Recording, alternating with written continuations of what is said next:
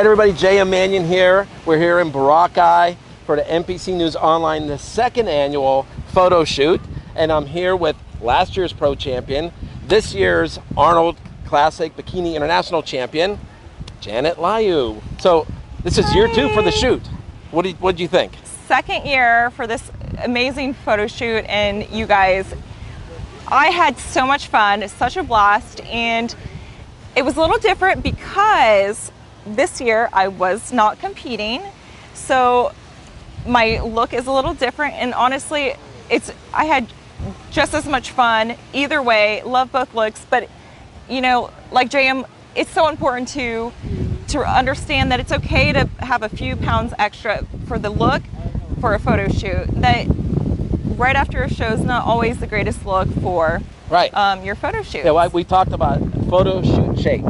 Okay, you do they, they they only look like they look on stage for maybe two weeks out of the year, right. two three weeks or whatever, you know, because it's only a few days for each one, and depending on how many contests you do. But I mean, you look at this, and, and I mean, Honestly, whether you're a it looked- competitor or not, they should be able to look at this and go, "Wow!" I mean, you, honestly, I think that majority of people, when they look at a photo um, who's really in good shape, not contest shape, but really good shape, um, it's a really good look. It's even better. Yeah. Well, one thing I have to say, which, you know, Janet, you know, she's talking, she's not telling you she has a hollow leg because she's eaten more than anybody else here. You guys, we are here in. no, no, no, no, we, it's you. Oh, okay, I'm here in the Philippines, and it's so you have to just enjoy the culture and everything about it, and everything here is so good. You're like, oh, where's that? What's that? What's that? and it wasn't just what's that, it was like, ube pancakes. You know, you have to try them. oh my god.